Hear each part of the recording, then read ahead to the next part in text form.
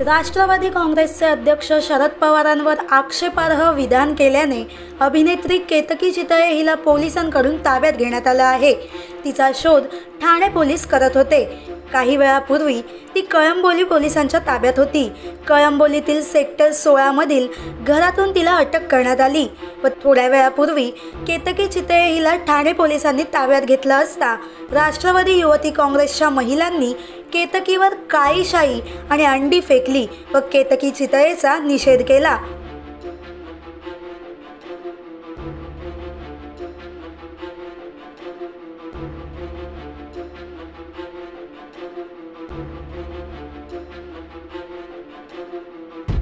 दिशा न्यूजला सबस्क्राईब करा आणि बेल आयकॉनवर क्लिक करून आपल्या परिसरातील बातम्या सर्वात आधी पहा.